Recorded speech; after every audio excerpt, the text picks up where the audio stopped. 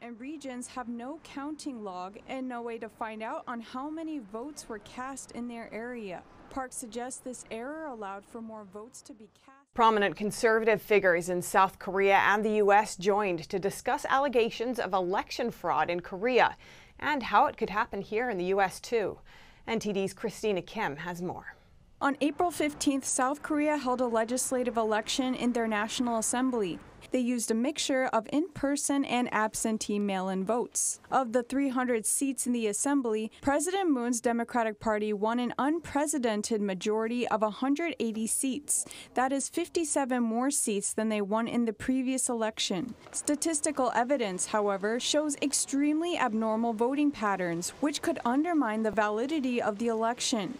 South Korean lawyer Park Ju-hyun spoke in depth about the security issues the country faced with absentee mail-in voting. The number of mailed votes that left the post office did not match the number of votes that arrived at the final post office destination. This indicates there was serious fraud in the mail-in voting system.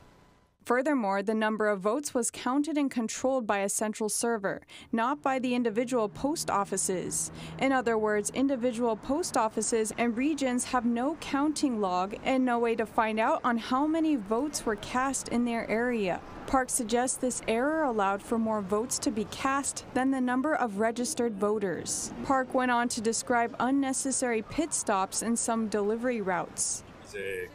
Votes mailed from the southern Ulsan post office to the Ulong post office were found to have passed through a Daejeon exchange center. We've seen a lot of carries make these kinds of irrelevant stops.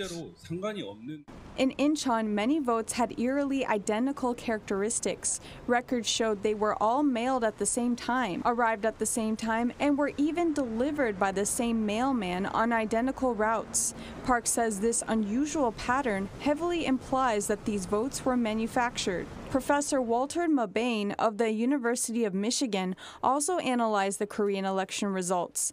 Tara Oh, who spoke at the event, described her findings. That over 1.4 million votes were fraudulent. That, that's quite a bit.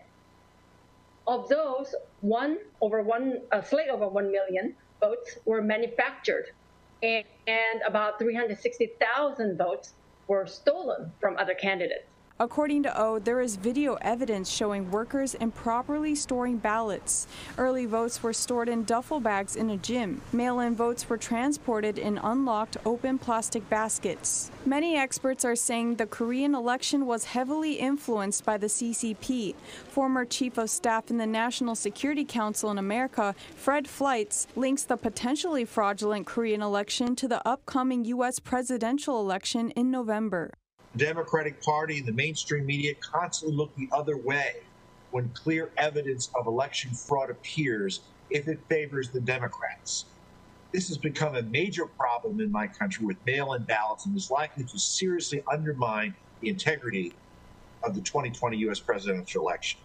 China has almost certainly launched a global campaign to affect the outcome of the U.S. presidential election and to ensure the election of Joe Biden.